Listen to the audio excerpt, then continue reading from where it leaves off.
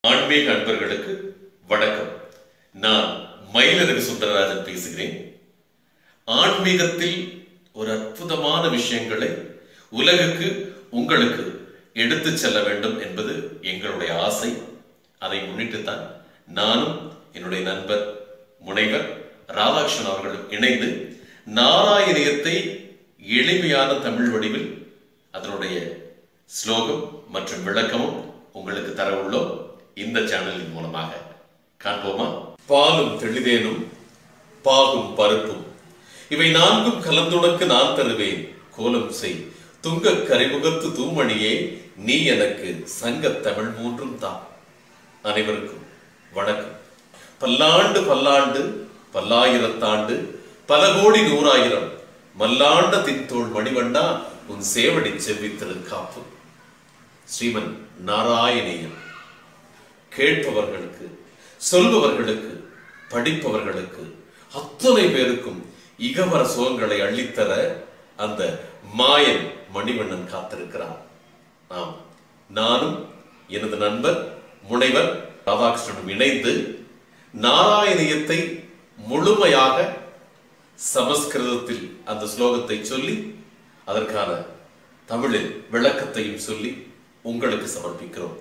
ஆண்டவனுக்கும் அடியார்களுக்கும் செய்யக்கூடிய ஒரு சிறு தொண்டாக இதை நாங்கள் ஆரம்பித்திருக்கிறோம்.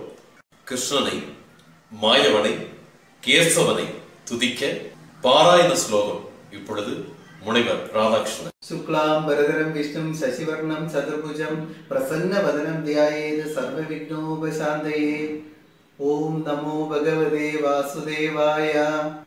பீதாம்பரம் கருவிராஜித சங்கச்சக்கரம் கௌமோதகி சரிசிஜம் கருணாசமுத்திரம் ராதாசகாயம் அதிசுந்தர மந்தஹாசம் வாதால ஏசம் அனிசம் ஹிருதி பாவயாமி ஓம் நமோ பகவதே வாசுதேவாய ஓம் நமோ பகவதே வாசுதேவாய கிருஷ்ண கிருஷ்ண முகுந்த ஜனார்த்தனா கிருஷ்ண கோவிந்த நாராயண இகபர சுகங்களையும் அள்ளித்தர காத்திருக்கிறான் குருவாயூர் இளவன் சின்ன பாலகனாக கீதை சொன்னவனாக பார்த்தனுக்கு பாடம் சொன்னவனாக வெண்ணெய் திருடிய கள்வனாக கோபியர்களுடைய லீலைகள் செய்த கள்ளனாக கண்ணனை எந்த இடத்தில் பார்த்தாலும் சரி பார்க்கும் இடத்தில் எல்லாம் அந்த கிருஷ்ண பரமாத்மா நிறைந்திருக்கிறான். இங்கு குருவாயூரில் அமைந்துள்ள பிரதிஷ்டை செய்யப்பட்ட இந்த விக்கிரகமானது ஸ்ரீமன் நாராயணனால் பிரம்மாவிற்கு வழங்கப்பட்டதாக சொல்வார்கள். அடுத்து வருகின்ற காலகட்டத்தில் துவாரகையானது தண்ணீரால் சூழப்பட்ட பொழுது இந்த விக்கிரகம் அங்கிருந்து மிதந்து வந்ததாகவும் இந்த விக்கிரகத்தை சாட்சாத் கிருஷ்ண பரமாத்மாவே பூசித்து வந்ததாகவும் தெரிய வருகின்றது.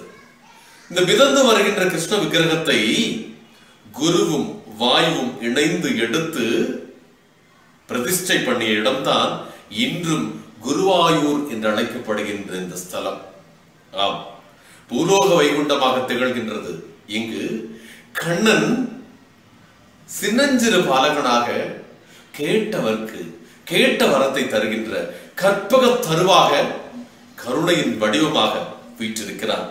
மோட்சமே வடிவமாக ஆனந்தமே வடிவமாக இந்த உலகமே அவன் வடிவமாக அவனுடைய திருவடி தாமரையில் நம்முடைய வேண்டுதல்களை எல்லாம் வைத்து இதோ ஸ்ரீமன் நாராயணியும் இப்பொழுது தொடங்க இருக்கிறது.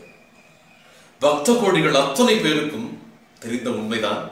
ஆனாலும் ஸ்ரீமன் நாராயணியம் என்பது நாராயண பட்டத்திரி என்பவரால் தொகுக்கப்பட்டது எழுதப்பட்டது கடவுளுக்கு சமர்ப்பணம் செய்யப்பட்டது.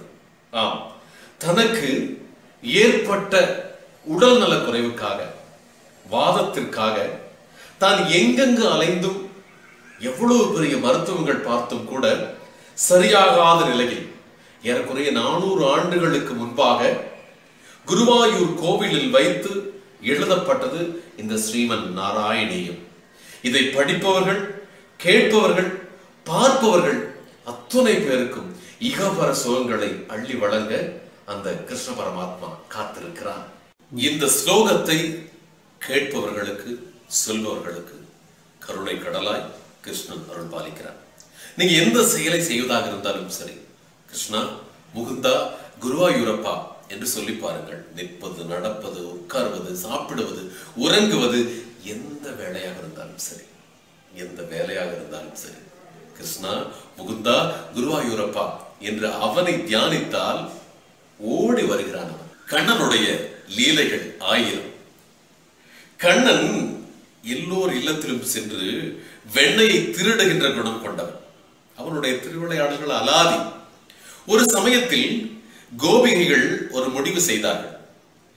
வெண்ணை பானை உரியை ஒரு கயிற்றில் கட்டி அந்த கயிற்றின் நுனியில் மணியை கட்டி வைத்தார்கள்.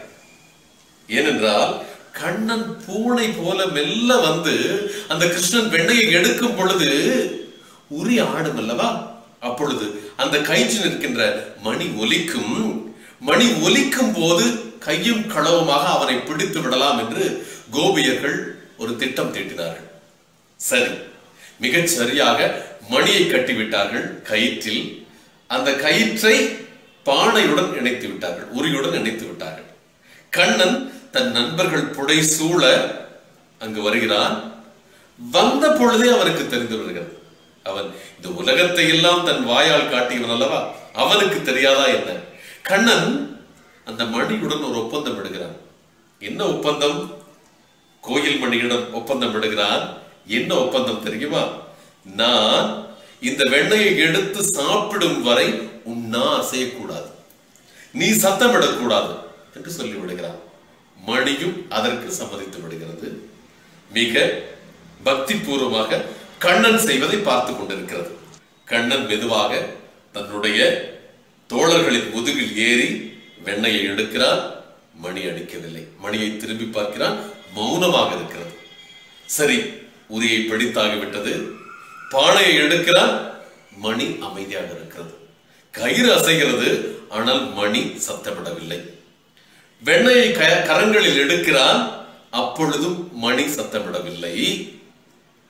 வெண்ணையை எடுத்து வாயில் வைக்க போகிறான். உண்ணத் தொடங்க போகிறான். கன கண கன கண என்று மணி அடிக்கிறது. மணி ஓசை கேட்டு கோபியர்கள் ஓடி வருகிறார்கள். ஓடி வந்து கண்ணனை கையும் களவுமாக பிடித்து விடுகிறார்கள். கண்ணனுக்கு ஆச்சரியம். அந்த கோவில் மணியை பார்த்து கேட்கிறான். நாம் இருவருக்கும் இடையில் ஒப்பந்தம் நடந்ததே? அந்த ஒப்பந்தத்தை மீறிவிட்டாய் அல்லவா? ஏன் அவ்வாறு செய்தாய்? கண்ணன் கேட்கிறான் மணி சொல்கிறது கண்ணா உனக்கு அலங்காரம் செய்து ஆராதனை செய்கின்ற பொழுது ஒவ்வொரு நொடியும் என்னுடைய நாவை அசைத்து மணி ஓசை எழுப்பிக் கொண்டிருந்தேன். நீ செய்கின்ற ஒவ்வொரு செயலையும் பார்க்கும் பொழுது என்னுடைய நாவை கட்டுப்படுத்தி வைத்திருந்தேன். ஆனால் கடைசியில் உனக்கு நிவேதனம் செய்யும் பொழுது நீ வெண்ணையை உண்ணும் பொழுது என்னால் தாங்க முடியவில்லை கண்ணா. எப்பொழுதும் செய்கின்ற பூஜையை செய்து விட்டேன். உனக்கு நிவேதனம் ஆகும் பொழுது மணி ஒலிக்க வேண்டும் என்பது என்னுடைய மனதுக்குள் இருக்கின்ற ஆசை. ஒலித்து விட்டேன் கண்ணா. என்னையும் மீறி வெளிவந்து விட்டது என்று. அதே புன்னகை முகத்துடன் கண்ணன் மணியை பார்த்து சொல்கிறான். நீ என்றைக்குமே என் கோவில் வாசலில் ஒலித்துக் கொண்டது என்று. ஆம். அத்தகைய சிறப்பு வாய்ந்த கிருஷ்ணனுடைய ஸ்ரீமன் നാരായണീയത്തെ നാം ഇപ്പോഴത് പാർക്ക போகிறோம் ഇത് മുതൽ ശ്ലോകം. സാന്ദ്രാനന്ദാവബോധാത്മകം அனுபவிதம் காலதேசாவதிவ்யாம் നിർമുക്തം നിത്യമുക്തം നിഗമ ശതസഹസ്രേണ നിർഭാസ്യമാനം. അസ്പഷ്ടം ദൃഷ്ടമാത്രേ പുനരൊരു പുരുഷാർത്ഥാത്മകം ബ്രഹ്മതത്വം. തത്താവത് ഭാതി സാക്ഷാത് ഗുരുപവനപുരേ ഹന്തഭാഗ്യം ജനാനാം. முதல் தசகம் ஸ்லோகம் ஒன்று. சாந்திரா நந்தாவ பதாத்மகம். ஒப்பில்லாததும் உலகத்திற்கே கருணையை கொடுப்பதுமாகிய ஒரு அற்புதமான சூரியனைப் போல் ஒளி வீசக்கூடிய இந்த கிருஷ்ண பரமாத்மா குருவாயூரில் நின்று ஒளி வீசிக் கொண்டிருக்கிறான் அருள் பாலித்துக் கொண்டிருக்கிறான். முழுமையான ஆனந்தமும் வடிவமும் தன்னுடையதாக கொண்டது. காலங்களையும் தேசங்களையும் கடந்து நிற்கின்றது. எல்லா வேதங்களாலும் விவரித்து கூறப்பட்டாலும் கூட அதை அனுபவத்தில் பார்க்கும் பொழுது மிக அற்புதமாக இருக்கின்றது. அதாவது வேதங்கள் எல்லாம் சொல்லலாம். ஸ்ரீமன் நாராயணனை பற்றியும் கிருஷ்ணனை பற்றியும் கிருஷ்ண லீலைகளை பற்றியும் வேதங்கள் அனைத்தும் சொல்கின்றது. அதை உணர்ந்து பார்க்கின்ற பொழுது அதனுடைய அந்த உணர்வுகளே தனி. ஒப்பில்லாதது விலை மதிப்பில்லாதது இப்படிப்பட்ட உயர்ந்த ஒரு பிரம்மம் குருவாயூரில் நின்று ஒளி வீசுகின்றது. இப்படிப்பட்ட சிறப்பு வாய்ந்த ஒரு பிரம்மம் இங்கே இருப்பதற்கு அதை காண்பதற்கு மக்கள் என்ன புண்ணியம் செய்தனரோ என்ன தவம் செய்தனரோ இது ஆச்சரியமாக இருக்கின்றது. அதாவது கந்த பாக்கியம் ஜனானாம். இந்த வார்த்தை எவ்வளவு பெரிய வாக்கியங்களை இந்த மனிதர்கள் பெற்றிருக்கிறார்கள். அவனை தரிசிப்பதற்கும் அவருடைய திருவடியை சரண் புகவும் அந்த கோ- ஆயிரம் கோடி சூரிய பிரகாசமாக குருவாயூரில் நின்று ஒளி வீசிக் கொண்டிருக்கிறதே அந்த பிரம்மம். அதை காண்பதற்கு மக்கள் என்ன புண்ணியம் செய்தனரோ? இது ஆச்சரியமாக உள்ளதே. இது இந்த ஸ்லோகத்தின் உட்கருத்து. மீண்டும் சந்திப்போம் அடுத்த வருகின்ற பகுதிகளில். நீங்கள் எங்களுடைய சேனலை சப்ஸ்கிரைப் பண்ணுங்கள். நாராயணயத்தை முழுமையாக நாம் கேட்போம். வணங்குவோம் அவனை. நன்றி வணக்கம்.